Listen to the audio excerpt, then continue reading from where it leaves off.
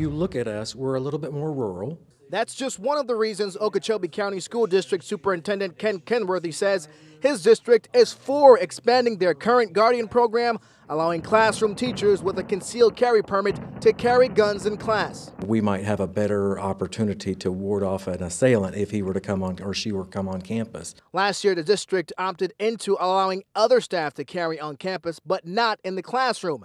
Now, after a survey of students, parents, teachers, school board staff, and the community showed 62% was for expanding the program, the school board voted unanimously to move forward with teachers carrying with no opposition from the public at the board meeting. We have lots of citizens, parents, students who who hunt all the time in our rural area on our ranches, and so I think maybe they view a firearm a little bit different. We know each other here, we trust each other, and so I think that has a big factor. Kenneth Feitner's wife is a teacher in Okeechobee County and says he's all for his wife carrying. Students are doing it.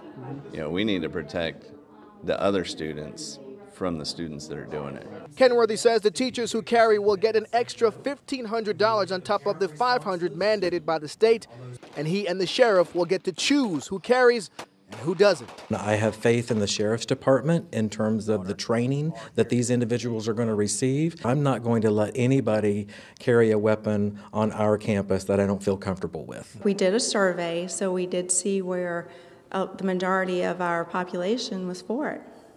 Okay. We just want to protect our kids.